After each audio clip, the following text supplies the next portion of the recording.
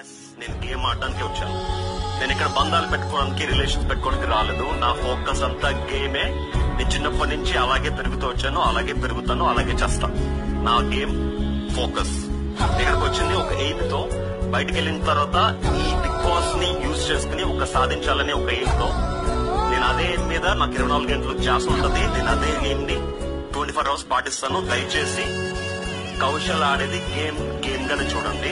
మీరు దయచేసి దాన్ని సీరియస్ తీసుకుంటూ మీ అందరికి ఒక్కొక్కరికి ఒక్కొక్క ఉద్దేశంతో వచ్చినట్టున్నారు. నా ఉద్దేశం మాత్రం బిగ్ బాస్ హౌస్లో వచ్చింది నేను ఇక్కడ బంధాలు పెట్టుకోవడానికి రిలేషన్ పెట్టుకోవడానికి రాలేదు. నా చిన్నప్పటి నుంచి అలాగే పెరుగుతూ వచ్చాను అలాగే పెరుగుతాను అలాగే చేస్తాను. నా గేమ్ ఫోకస్.